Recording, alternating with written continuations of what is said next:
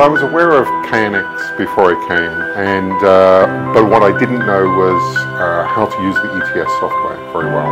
Now I feel more confident in using the ETS software.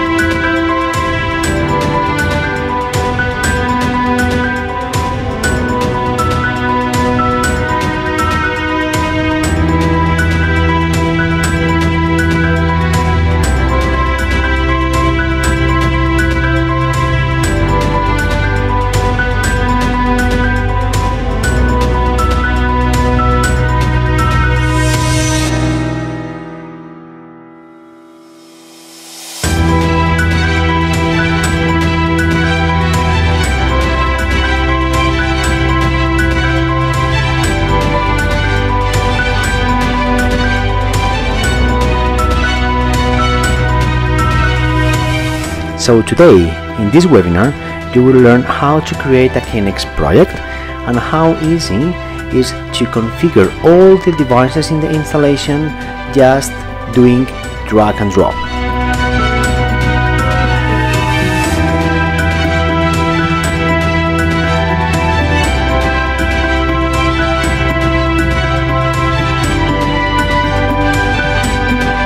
También estoy aprendiendo es aprender a, regular luces, a encenderlas, a apagarlas, a controlar persianas.